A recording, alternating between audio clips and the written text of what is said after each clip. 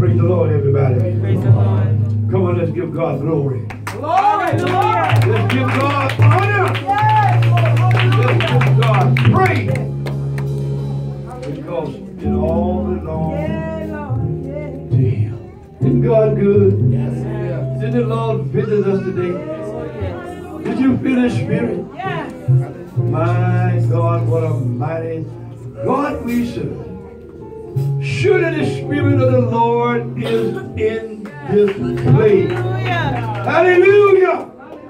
My God, I can feel it. Oh, yeah. Those testimonies.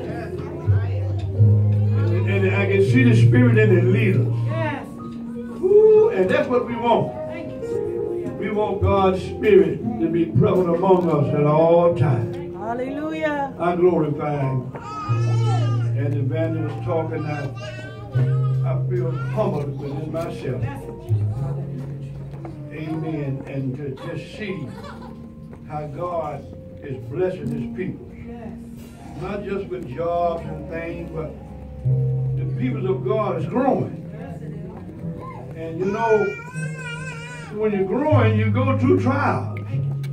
So don't feel like you you're losing out because you feel the struggle.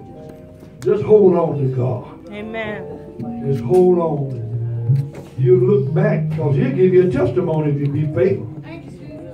He'll give you a testimony. And we're glad to be here in, in this church at this time and, and in this day. But this is God's will and God's purpose for us to be here like we are is because of God's mercy and God's choice among us. We have been chosen. And we didn't choose ourselves. It was the Lord that chose us and set us up to represent Him and to be a light in this dark world. You know, it's amazing how the service went up so high. Amen. So we're not going to definitely be that long because we feel like God have come through him mightily. He have come through him mightily.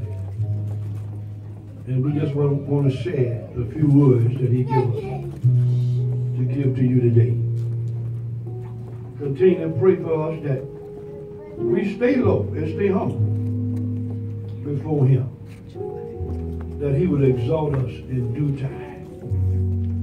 I'd like to call your attention to the Gospel of, Oh, of St. Mark, chapter 5.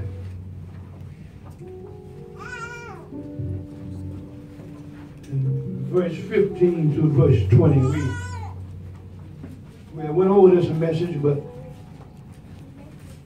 the Holy Ghost is so high. Today we're just gonna kind of get away from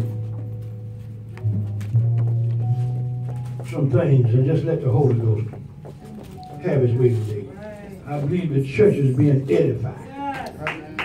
This, the- when the Spirit is moving, the church is being edified. They're being built up. You just don't know what God is doing for you right now. But one thing we know, He's doing great things. In Mark Gospel chapter 5, and I start reading from verse 15 to verse 20.